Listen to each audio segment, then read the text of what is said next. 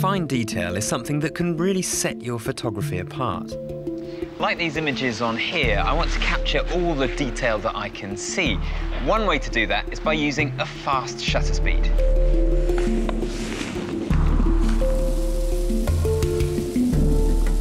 An everyday scene like this presents a great opportunity.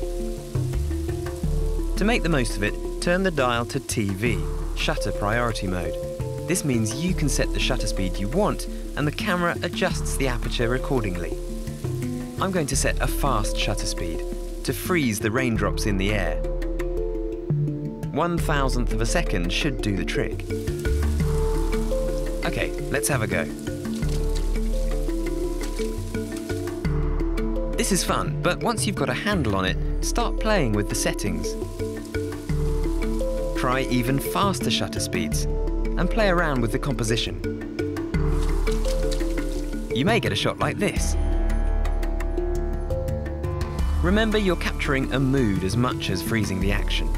You're not just after maximum clarity, but also an impression of a moment. Sometimes these shots can feel the most creative. So give it a go, have fun and experiment.